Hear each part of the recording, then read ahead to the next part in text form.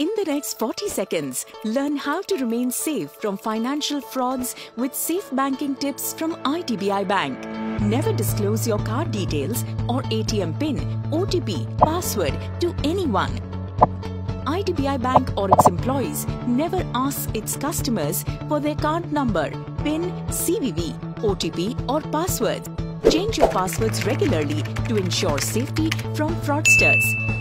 Never allow anyone to access your mobile or personal computers remotely. Never download from unknown links or install applications from untrusted sources. Stay alert and practice safe banking with IDBI Bank. For additional details, visit www.idbibank.in.